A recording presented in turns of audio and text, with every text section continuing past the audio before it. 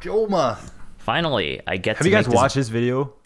I've seen this video being made by many, many tech YouTubers. Hey, that's me. And uh, finally, I can make it because it's been exactly 10 years that I've been coding. Damn, how old is Joma? By the time I finished you're making old, this bro. video, But you look it were really young. already 2022. Everyone's path is different.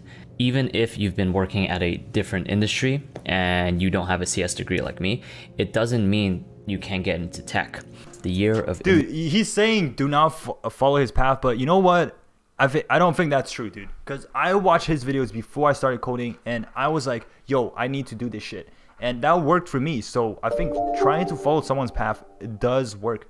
But obviously, you have to adapt it, adapt it to your own situation, right?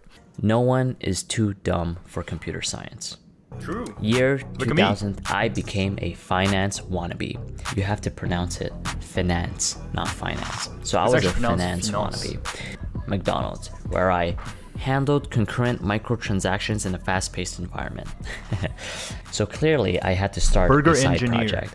Wait, let me. See, let's hear his classes.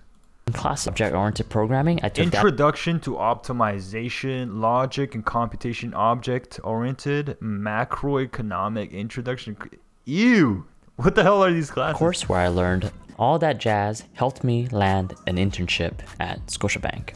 Uh, doing what? You guessed it.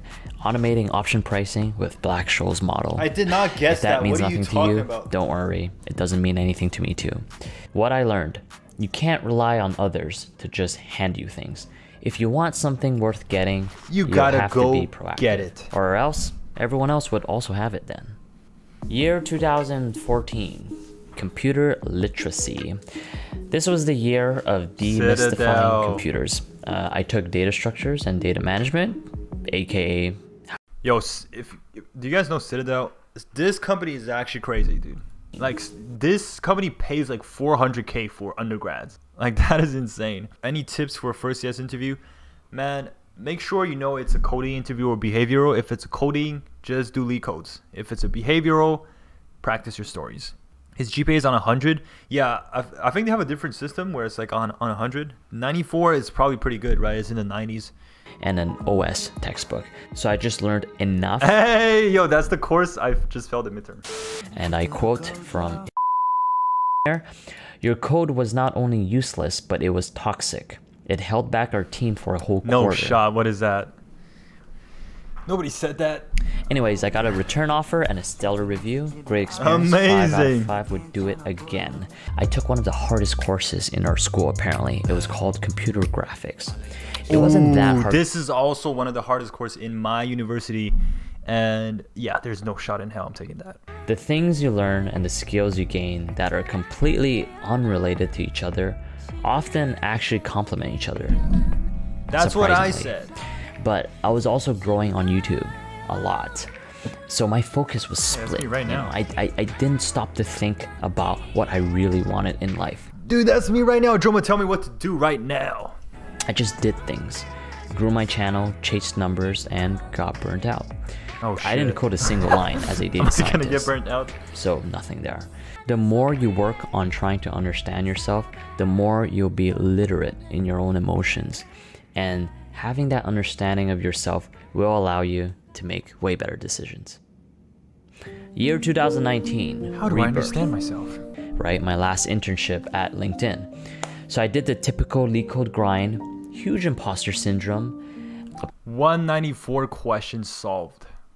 That's a lot. applied to two big companies, got extremely lucky, and got both offers. I was so, so relieved. So much of my mental health quickly got better, basically. Year 2020, Yo, that's actually me right after I got Facebook. I was mostly working in C. Same thing Ugh. every time, I know. We're always beautiful because I used to be a data scientist. What That- I yo, that's what happened to me at Cisco, bro. I barely coded, but at the end of my internship, there was like a project presentation in front of everyone, including like the vice president, and I just pulled through with my like business presentation skills, and they were like, "We want you back," even though I didn't do shit. I learned. In the end, work is just work. Your technical abilities Work and your just work. expertise don't matter as much as you think. My YouTube channel became pretty big. I can't really call it a hobby anymore. But um, the crazy thing is, I'm loving it Congrats, more than ever before. And the craziest thing is, Drake's in chat. I wanted to be a YouTuber when I was like 15, and it actually Me came too. true. When I was nine. I am so grateful Wait, what's the that I have this YouTube channel. You can't control the outcomes of your dice rolls, but you can control what dice you use. Really? And the more you work on yourself, I roll the higher than more three. the dice become weighted to your advantage. So eventually, you'll hit jackpot as long as you keep jackpot. rolling the dice. Anyways, that's it for the video. See ya. See you, man. Amazing. Yo, can we get some claps in the chat for Joma, dude? This guy is actually amazing, dude. In 10 years, he did so much.